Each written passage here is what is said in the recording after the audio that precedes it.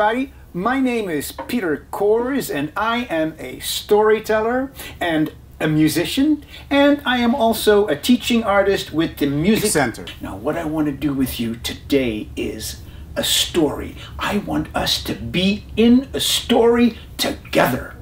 Now, I have a question though. Why are stories so popular? What do you think? That's very that's a good answer. That's a good answer. And it's not the only answer. There are many reasons why people love to listen to stories, why people love to tell stories. And the story that I'm going to tell you today is a story that has a lesson. That's right, stories can tell us lessons. So, when a story tells you a lesson, it's called a fable. Can you say that? Awesome. Fable. Fable. A story that teaches us a lesson. And the name of the fable today is The Lion and the Mouse. One more thing before we start. I'm also going to give you a brand new vocabulary word. So get ready for that too, okay? Here we go with The Lion and the Mouse. This story has two characters that we see. One is the lion, and to be the lion, to be actors like a lion, you have to go like this. Can you do this? Awesome. Very look at those lions. Yeah. And the second character is a mouse. And we're going to do a mouse like this. Let me see you do that. That's good. Okay. And when the mouse runs, he runs like this. Try that. Really good. Okay. The story of the lion and the mouse. Let me see you move like the lion. Looking very serious. Good. Once upon a time, there was a very serious lion walking through the tall grass. And every now and again, he would stop and listen to the birds. That made him smile. Then he looked serious again and kept walking. Looking serious. And he would stop and look at the clouds. And that made him smile. And then he would get serious again and keep walking. And then he would stop and smell the flowers. And that made him smile. And he would get serious again and keep walking. Now all this smiling and walking made him kinda tired, so he decided to stretch and yawn and take a little nap. Meanwhile, there was the mouse, running like this. Ready? This mouse was lost. Eh, he was so lost, ladies and gentlemen, that he ran this way, he ran that way, he ran that way. He was so lost, in fact, that he ran all over the sleeping lion's body, tickling him. Let's see that mouse running all over the lion's body, tickling him like this.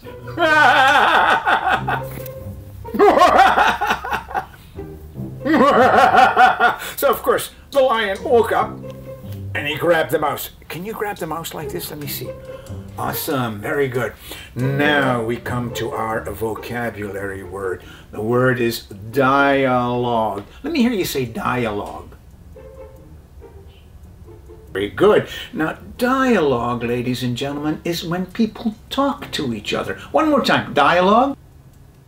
Very good. So we're going to do the dialogue between the mouse and the lion. And the way we're going to do it is like this.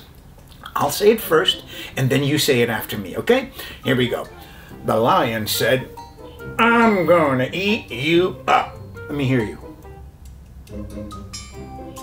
Excellent. And then the mouse said, No, no, no, no, no. Your turn. Very good. The lion said, Why not? Good. And the mouse said, Uh, I could help you sometime. Go ahead. I could be your friend. And the lion said, Little mouse like you? Don't make me laugh. And the mouse said, Really, really, really? Ha ha ha, said the lion. Your turn. Really, really, really? Ha ha ha. And then the mouse said, Think about it. And the lion thought about it. Hmm. Hmm. Okay, I'll let you go. And the lion let the mouse go. A couple of days later, this very same lion was walking through the tall grass, enjoying the fresh air. When all of a sudden, because he thought he heard something dangerous. But he didn't hear it anymore. So he walked very slowly and very carefully, and then he stopped again because he thought he smelled something dangerous. But he didn't hear it anymore. So he walked very slowly, very carefully, and then it happened. A hunter had come along from the zoo to capture the lion, and this hunter threw a huge rope around the lion like this. Can you throw a rope around the lion like that? Yes. And the lion tried to get loose, but the hunter threw another rope around him like this. And can you throw the other rope around the lion? And the lion tried to get loose, but the rope was too strong, too strong, and he couldn't get loose, and all the struggling made him very angry, and he roared an angry roar. Roar! Let me hear you roar an angry roar. Very angry. And then he struggled some more, and he struggled some more, and then he got tired, and he roared a tired roar. Let me hear you roar a tired roar. Ready? Roar! And he roared a sad roar because he knew he wasn't going to get loose. Let's do a sad roar together. And then he fell asleep.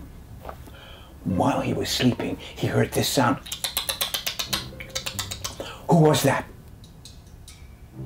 And what was the mouse doing? Trying to free the lion. Right, right, right. He was trying to free the lion by chewing the rope. So let's free the lion together by chewing the rope. Ready?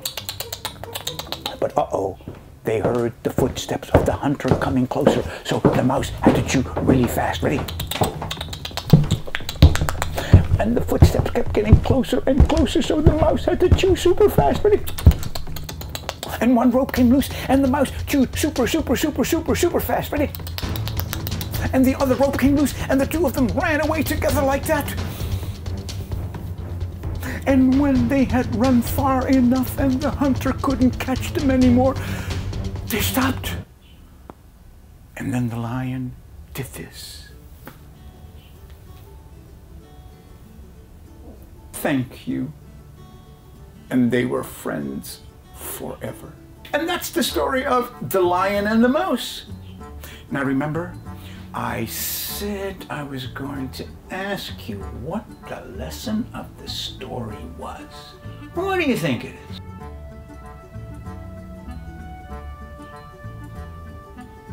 Very good, you're thinking, yes, yes, yes.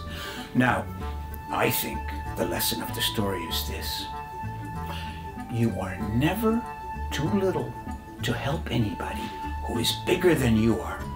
And probably you can think of a time when you helped somebody who was bigger than you are. Yeah, yeah, good. And um, that new word that uh, we learned today, new vocabulary word, dialogue.